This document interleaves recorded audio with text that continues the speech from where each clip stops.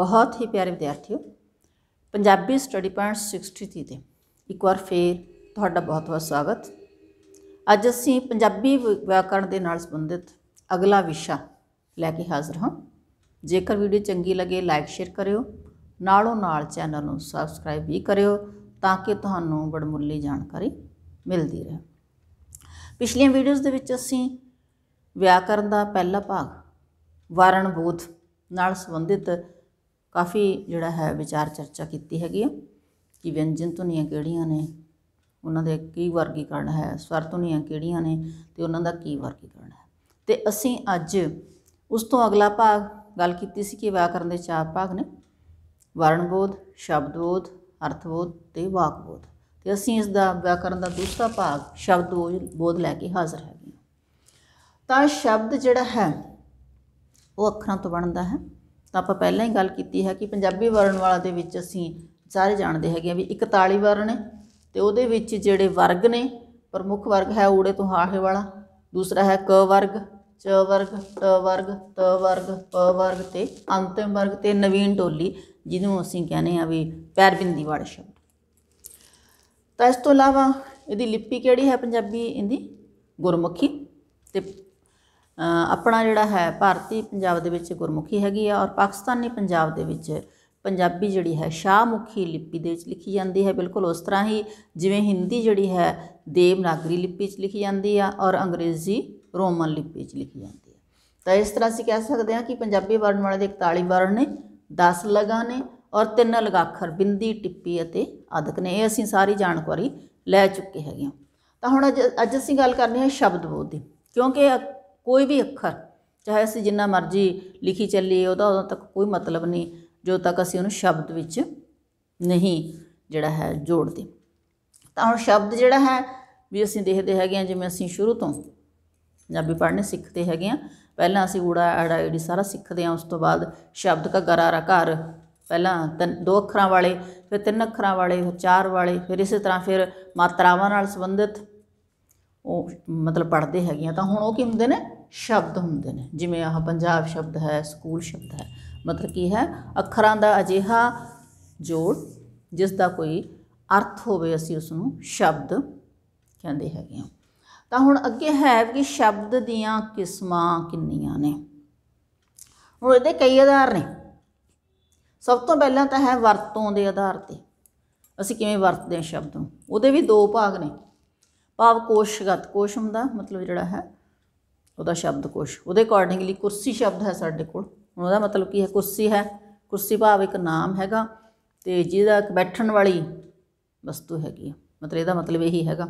ਪਰ ਅਸੀਂ ਇਹਦਾ ਵਿਕ- ਵਿਆਕਰਨਕ ਰੂਪ ਕੀ ਆ?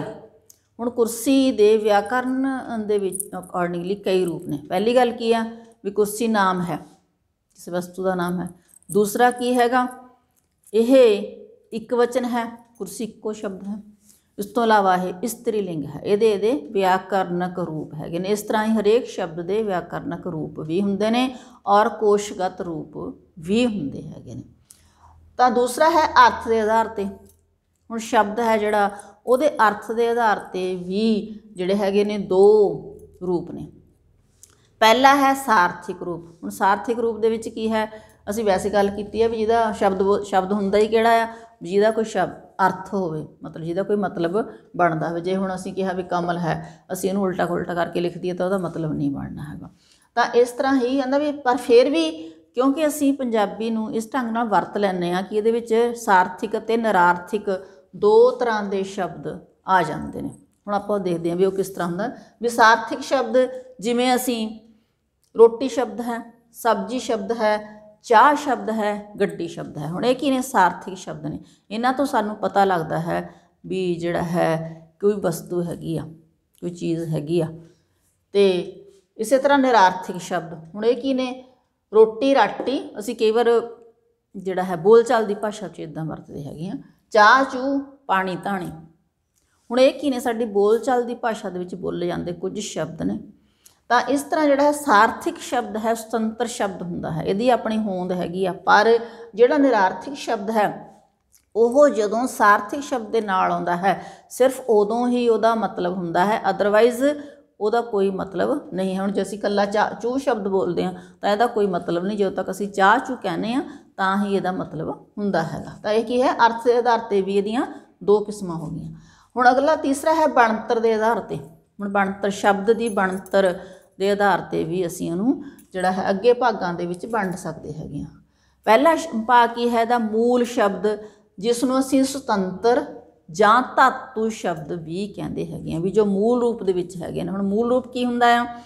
ਕਿ ਸ਼ਬਦ ਦਾ ਉਹ ਰੂਪ ਜਿਸ ਨੂੰ ਅਸੀਂ ਅੱਗੋਂ ਨਖੇੜ ਨਾ ਸਕੀ ਤੇ ਉਹਦਾ ਕੋਈ ਮਤਲਬ ਹੋਵੇ, ਤੇ ਉਹਦੇ ਨਾਲ ਅਸੀਂ ਅੱਗੇ ਪਿੱਛੇ ਕੋਈ ਵੀ ਸ਼ਬਦ ਲਾ ਕੇ ਕੋਈ ਹੋਰ ਸ਼ਬਦ ਬਣਾ ਸਕਦੇ ਹੋਈਏ। ਮੂਲ ਸ਼ਬਦ ਉਹ ਹੁੰਦਾ। ਹੈ। ਜਿਵੇਂ ਅਸੀਂ ਕਹਿੰਦੇ ਆ ਨਮਕ ਹੈ, ਅੰਗੂਰ ਹੈ ਘਰ ਹੈ ਅ, ਪੜ੍ਹ ਸ਼ਬਦ ਹੈ। ਅਸੀਂ ਇਹਨਾਂ ਨੂੰ ਅੱਗੋਂ ਤੋੜ ਨਹੀਂ ਸਕਦੇ ਪਰ ਇਹਨਾਂ ਦਾ ਆਪਣਾ ਮਤਲਬ ਹੈਗਾ। ਤੇ ਇਹਨਾਂ ਨੂੰ ਅਸੀਂ ਮੂਲ ਸ਼ਬਦ ਕਹਿੰਦੇ ਆ ਧਾਤੂ ਸ਼ਬਦ ਕਹਿੰਦੇ ਆ ਜਾਂ ਸੁਤੰਤਰ ਸ਼ਬਦ ਕਹਿੰਦੇ ਹੈਗੇ ਤਾਂ ਦੂਸਰੇ ਤਰ੍ਹਾਂ ਦੇ ਸ਼ਬਦ ਕਿਹੜੇ ਨੇ? ਰਚਿਤ ਸ਼ਬਦ। ਹੁਣ ਜਿਨ੍ਹਾਂ ਦੀ ਅਸੀਂ ਜਿਹੜਾ ਹੈ ਬਣਾ ਲਏ ਨੇ ਸ਼ਬਦ ਪਹਿਲਾਂ ਮੂਲ ਸ਼ਬਦ ਤੋਂ ਜਿਵੇਂ ਪੜ੍ਹ ਸ਼ਬਦ ਹੈ। ਪੜ੍ਹ ਤੋਂ ਅਸੀਂ ਕਿੰਨੇ ਸ਼ਬਦ ਬਣਾ ਲਏ? ਪੜ੍ਹਨਾ ਪੜ੍ਹਾਈ ਪੜਾਕੂ ਇਸ ਤਰ੍ਹਾਂ ਅਨਪੜ੍ਹ, ਮਤਲਬ ਅਗੇਤਰ ਪਿਛੇਤਰ ਲਗਾ ਕਈ ਤਰੀਕਿਆਂ ਦੇ ਨਾਲ ਆਪਾਂ ਰਚਿਤ ਰਚਿਤ ਸ਼ਬਦ ਬਣਾਉਂਦੇ ਹਾਂ। ਇਹਨਾਂ ਨੂੰ ਅਸੀਂ ਸੰਯੁਕਤ ਸ਼ਬਦ ਵੀ ਕਹਿ ਦਿੰਦੇ ਹਾਂ, ਕਿਉਂਕਿ ਮੂਲ ਸ਼ਬਦ ਦੇ ਨਾਲ ਜੁੜ ਕੇ ਬਣੇ ਨੇ ਔਰ ਅੱਗੋਂ ਇਹਨਾਂ ਨੂੰ ਅਸੀਂ ਨਖੇੜ ਸਕਦੇ ਹਾਂ। ਠੀਕ ਹੈ? ਤਾਂ ਇੱਕ ਹੋਰ ਜਿਹੜੀ ਮਹੱਤਵਪੂਰਨ ਗੱਲ ਹੈਗੀ ਆ ਵੀ ਅਸੀਂ ਜਦੋਂ ਮੂਲ ਸ਼ਬਦ ਦੇ ਨਾਲ ਕੋਈ ਹੋਰ ਸ਼ਬਦ ਲਾ ਕੇ ਕਿਸੇ ਸ਼ਬਦ ਨੂੰ ਹੋਰ ਬਣਾ ਲੈਂਦੇ ਆ ਜਿਵੇਂ ਪੜ੍ਹ ਸ਼ਬਦ ਹੈ। ਪੜ੍ਹ ਤੋਂ ਅਸੀਂ ਅਨਪੜ੍ਹ ਲਿਖ ਲਿਆ। ਪੜ੍ਹਾਈ ਲਿਖ ਲਿਆ, ਹਨਾ, ਇਹ ਸ਼ਬਦ ਬਣ ਗਏ। ਤਾਂ ਹੁਣ ਇਹਦੇ ਵਿੱਚ ਪੜ੍ਹ, ਅਨਪੜ੍ਹ ਦੇ ਵਿੱਚ ਅਨ ਅੱਗੇ ਲਾਤਾ। ਤਾਂ ਜਿਹੜਾ ਅਨ ਸ਼ਬਦ ਹੈ ਉਸ ਨੂੰ ਵਧੇਤਰ ਕਿਹਾ ਜਾਂਦਾ ਹੈ ਪੰਜਾਬੀ ਵਿਆਕਰਨ ਦੇ ਵਿੱਚ।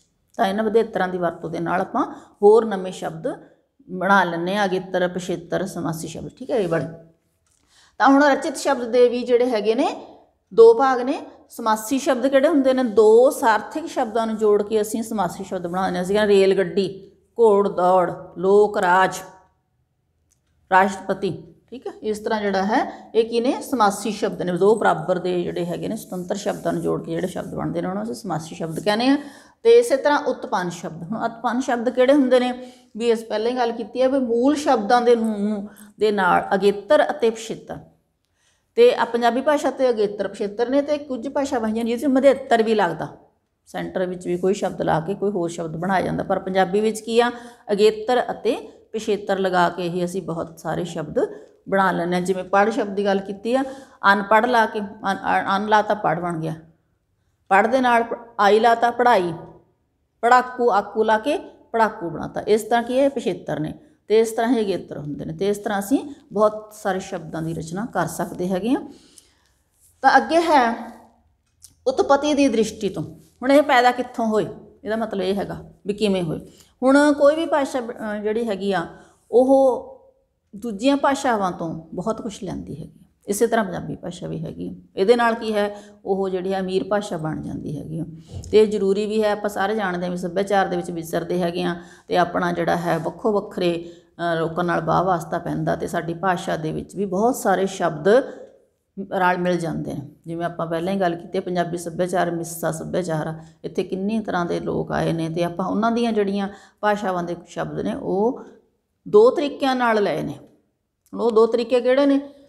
ਪਹਿਲਾ ਤਾਂ ਹੈ ਤਤ ਸਮਰੂਪ। ਤਤ ਸਮਰੂਪ ਕੀ ਹੁੰਦਾ? ਤਤ ਪਲੱਸ ਸਮ। ਸਮ ਹੁੰਦਾ ਬਰਾਬਰ। ਤਤ ਮੀਨਸ ਜਿਵੇਂ ਹੈਗਾ ਸੀ।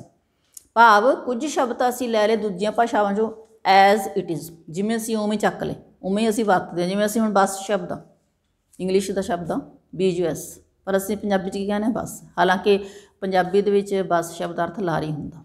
ਪਰ ਅਸੀਂ ਲਾਰੀ ਸ਼ਬਦ ਨਹੀਂ ਬੋਲਦੇ, ਅਸੀਂ ਬਸ ਹੀ ਬੋਲਦੇ ਹਾਂ। ਇਸੇ ਤਰ੍ਹਾਂ ਪੈਨ ਪੈਨ ਪੰਜਾਬੀ ਦਾ ਸ਼ਬਦ ਨਹੀਂ ਹੈਗਾ। ਪੈਨ ਅੰਗਰੇਜ਼ੀ ਦਾ ਸ਼ਬਦ ਹੈ। ਅਸੀਂ ਪੰਜਾਬੀ ਦਾ ਸ਼ਬਦ ਕੀ ਹੈ? ਕਲਮ। ਅਸੀਂ ਡੰਕ ਵਰਤਦੇ ਹੁੰਦੇ ਸੀ ਪਹਿਲਾਂ। ਤਾਂ ਇਸ ਤਰ੍ਹਾਂ ਕੀ ਹੈ? ਅਸੀਂ ਕੁਝ ਸ਼ਬਦ ਦੂਜੀਆਂ ਭਾਸ਼ਾਵਾਂ ਦੇ ਵਿੱਚੋਂ ਐਜ਼ ਇਟ ਇਜ਼ ਲੈ ਲਏ ਨੇ ਜਿਵੇਂ ਸੰਸਕ੍ਰਿਤ ਸ਼ਬਦ ਉੱਤੇ ਅਸੀਂ ਕਿਹੜੇ ਕਿਹੜੇ ਸ਼ਬਦ ਲਏ ਗਿਆਨ ਹੈ, ਯਾਤਰਾ ਸ਼ਬਦ ਹੈ, ਸ਼ਕਤੀ ਹੈ, ਲਘੂ ਸ਼ਬਦ ਹੈ ਸੰਸਕ੍ਰਿਤ ਤੋਂ ਲੈ ਲਏ ਤੇ ਅੰਗਰੇਜ਼ੀ ਚੋਂ ਸਕੂਲ ਸ਼ਬਦ ਹੈ, ਸਾਈਕਲ ਸ਼ਬਦ ਹੈ ਰੇਲ ਹੈ, ਗਲਾਸ ਹੈ, ਪੈਨ ਹੈ, ਇਸ ਤਰ੍ਹਾਂ ਦੇ ਸ਼ਬਦ ਅਸੀਂ ਅੰਗਰੇਜ਼ੀ ਤੋਂ ਲੈ ਲਏ। ਤੇ ਅਰਬੀ ਫਾਰਸੀ ਤੋਂ ਵੀ ਬਹੁਤ ਸਾਰੇ ਸ਼ਬਦ ਲਏ ਅਸੀਂ। ਜਿਵੇਂ ਬਾਦਸ਼ਾਹ ਸ਼ਬਦ ਹੈ, ਵਕੀਲ ਹੈ, ਚਸ਼ਮਾ ਹੈ, ਤੀਰ ਕਮਾਨ ਹੈ। ਇਸ ਤਰ੍ਹਾਂ ਦੇ ਸ਼ਬਦ ਅਸੀਂ ਅਰਬੀ ਫਾਰਸੀ ਤੋਂ ਵੀ ਲਏ ਨੇ। ਇਸ ਤਰ੍ਹਾਂ ਦੂਜੀਆਂ ਭਾਸ਼ਾਵਾਂ ਤੋਂ ਜਿਹੜੇ ਐਜ਼ ਇਟ ਇਜ਼ ਸ਼ਬਦ ਲੈ ਲੈ ਜਾਂਦੇ ਉਹਨਾਂ ਨੂੰ ਤਤ ਸਮਰੂਪ ਕਿਹਾ ਜਾਂਦਾ ਹੈ। ਤੇ ਦੂਸਰਾ ਹੁੰਦਾ ਹੈ ਤਤ ਭਾਵ ਰੂਪ। ਭਾਵ, ਮਤਲਬ ਭਾਵ ਕੀ ਹੈ? ਸ਼ਬਦ ਕਿਸੇ ਹੋਰ ਭਾਸ਼ਾ ਦਾ, ਪਰ ਅਸੀਂ ਉਹਨੂੰ ਚੇਂਜ ਕਰਕੇ ਆਪਣੀ ਭਾਸ਼ਾ 'ਚ ਵਰਤ ਲਿਆ। ਕਿਵੇਂ? ਜਿਵੇਂ ਸੰਸਕ੍ਰਿਤ ਤੋਂ ਪੰਜਾਬੀ 'ਚ ਅਸੀਂ ਕਈ ਸ਼ਬਦ ਲੈਣ, ਜਿਵੇਂ ਕਹਿੰਦਾ ਪੰਚ ਸੰਸਕ੍ਰਿਤ ਦਾ ਸ਼ਬਦ। ਅਸੀਂ ਗੱਲ ਬਣਾ ਲਿਆ ਪੰਜ। ਦੀਪ ਤੋਂ ਦੀਵਾ ਬਣਾ ਲਿਆ ਲక్ష్ਮੀ ਤੋਂ ਲక్ష్ਮੀ ਬਣਾ ਲਿਆ, ਸ਼ੋਕ ਤੋਂ ਸੋਗ ਬਣਾ ਲਿਆ ਤੇ ਇਸੇ ਤਰ੍ਹਾਂ ਜਿਹੜਾ ਹੈ ਦੇਸ਼ ਤੋਂ ਦੇਸ਼ ਬਣਾ ਲਿਆ। ਠੀਕ ਹੈ, ਇਹ ਤੱਤ ਭਾਵ ਰੂਪ ਆ। ਤੇ ਇਸੇ ਤਰ੍ਹਾਂ ਅੰਗਰੇਜ਼ੀ ਤੋਂ ਕਈ ਸ਼ਬਦ ਲਏ ਨੇ ਅਸੀਂ, ਜਿਵੇਂ ਕਹਿੰਦੇ ਆ ਲਾਰਡ ਤੋਂ, ਲਾਰਡ ਸ਼ਬਦ ਇੰਗਲਿਸ਼ ਦਾ ਸ਼ਬਦ ਆ। ਤਾਂ ਅਸੀਂ ਕਹਿੰਦੇ ਲਾਟ। ਤਾਂ ਆਂਟ ਸ਼ਬਦ ਹੈ ਏਜ ਯੂ ਐਂਟੀ ਆਂਟ, ਹਨਾ? ਅੰਗਰੇਜ਼ੀ ਦਾ। ਤਾਂ ਅਸੀਂ ਉਹਨੂੰ ਕੀ ਕਹਿਤਾ ਹੁਣ ਪੰਜਾਬੀ ਚ ਕੀ ਬਣਾਉਂਦੇ ਹਾਂ ਆਂਟੀ ਬਣਾ ਲਿਆ ਸੀ, ਠੀਕ ਹੈ ਤੇ ਇਸੇ ਤਰ੍ਹਾਂ ਸੈਲਡ ਸ਼ਬਦ ਸੈਲਡ ਸ਼ਬਦ ਨੂੰ ਅਸੀਂ ਸਲਾਦ ਬਣਾ ਲਿਆ। ਇਸੇ ਤਰ੍ਹਾਂ ਅਲਮੀਰਾ ਸ਼ਬਦ ਹੈ ਅੰਗਰੇਜ਼ੀ ਦਾ।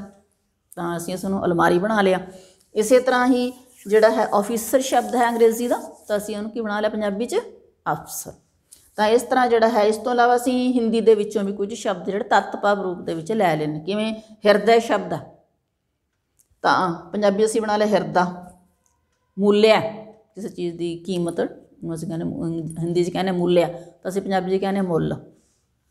ਇਸੇ ਤਰ੍ਹਾਂ ਹੀ ਸਿੱਖਿਆ ਸਿੱਖਿਆ ਨੂੰ ਅਸੀਂ ਪੰਜਾਬੀ 'ਚ ਕੀ ਬਣਾ ਲਿਆ? ਸਿੱਖਿਆ। ਤੇ ਫਿਰ ਅਸੀਂ ਨਵਮੀ ਨੂੰ ਬਣਾ ਲਿਆ ਨੌਵੀਂ। ਭਾਵ ਅਸੀਂ ਦੂਜੀਆਂ ਭਾਸ਼ਾਵਾਂ ਦੇ ਵਿੱਚੋਂ ਕੁਝ ਸ਼ਬਦ ਜਿਹੜੇ ਨੇ ਤੱਤ ਭਾਵ ਦੇ ਰੂਪ ਦੇ ਵਿੱਚ ਵੀ ਲੈ ਕੇ ਜਿਹੜਾ ਹੈ ਐਡ ਕਰ ਲਏ ਨੇ ਆਪਣੀ ਵਰਣਮਾਲਾ, ਮਤਲਬ ਸੌਰੀ ਸ਼ਬਦਕੋਸ਼ ਦੇ ਵਿੱਚ।